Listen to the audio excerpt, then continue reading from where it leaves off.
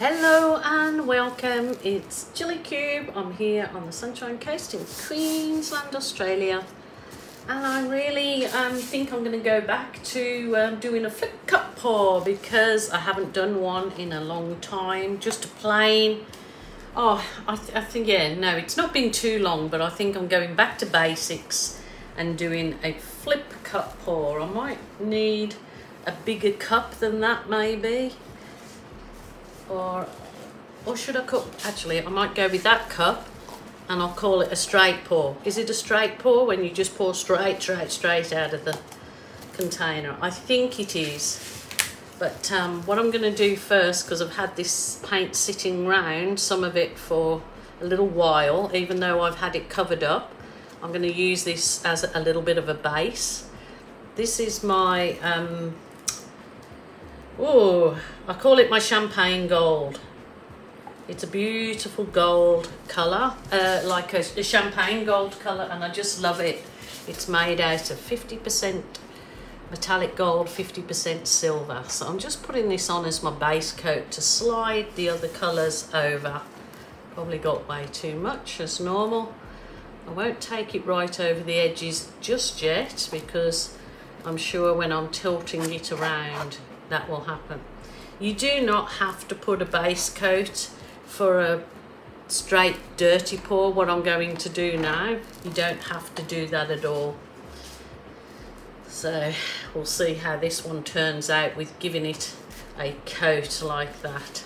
So what I'm going to do is just put that out the way for a minute. I'm going to load my cup up and um, the colours. So I'm really, I going to do sort of really bright, happy, cheerful colours, um, kind of um, sunset pour or something similar. So I've got this lovely yellow, really nice bright yellow. Probably need a little bit more in there. Nice bright yellow. I've got orange. I've got all the really nice kind of sunset uh, colours to go in here. So that's my orange and then I'm going to give it a good squirt of the cool red. It's all pre-made up in these containers um, with my pouring medium. So a good squirt of the red. So beautiful sunrise colour or sunset colours there. Um, I am actually going to put in, because I have it, a bit of Viridian green here. So I've got that left there that's beautiful. And then I had some white mixed with Viridian green. So I'll pour that in too. So it's just made it a very pale pepperminty colour. Um, like I said I wanted to use these up because they've been sitting here all week and they that was the Viridian green with a good daub of black in it. So to send it real dark I'm going to leave those there. I'm going to add, this is white. And I did add some, um, what did I add to the white? I added uh, metallic silver to my white. So I'll go back to the sun, sun sunsetty colours, which are the yellow, orange and red. I actually love adding yellow to my orange. It makes the orange really much brighter and pop. And then I'll go back to the red. So I think I've probably got plenty going on there now. So just a little bit of white.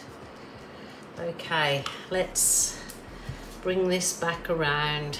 This is a really nice, easy um, pour to do if you're a beginner beginner, beginner. So I'm going to actually, instead of flipping it, I'm going to just do the straight from the um, cup. So let me know what it's called. Is it a dirty cup pour or a straight pour or a whatever? I can't keep up with all the names. Okay, those colours are super duper. Really beautiful, I can see already. oh, my gosh. Oh my gosh. Wow, wow, wow. should do it facing you so you can see those lovely colours coming out. That is beautiful. I just hope that I get really lovely results from these colours and because they were leftover paints from more than a week old so do one of these little hurricanes through here. It'll just wow. Look at the colours in that cup they're just beautiful. Rightio look at that. That is exciting. That's so gorgeous. Oh just a gentle tilt now. It should just slide over beautifully over that gold that I have there so obviously the gold will probably not show any further but that's okay. It's just used as a slippery slide tool for the rest of these gorgeous colors to slide over. Wow love it love it love it. Certainly does look like a hurricane or a tornado coming out not that people that suffer tornadoes in whatever country you're living in, it's not a very nice reminder, but um, if you've been through a tornado, I'm lucky that I definitely haven't been through a tornado here in Australia. Wow, look at the colours. I know that uh, Fiona art Fiona's lovely Fiona. She's such a lovely lady and does absolutely awesome pours. She did one in not these same colours but similar and it just turned out beautifully. So pretty sure that you all know who Fiona is. Oh my goodness, that is just gorgeous. Even the sides. Wow, wow, wow. Holy dooly. I do not want to mess with that, believe it or not, except I'm going to give it a little whiz over with my heat wand.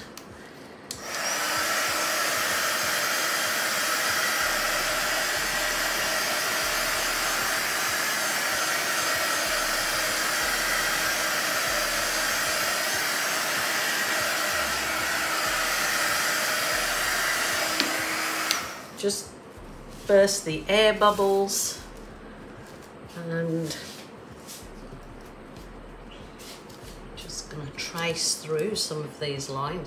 I suppose I could do it after it's dry is um, go through with my acrylic pen some of these lines to um, highlight them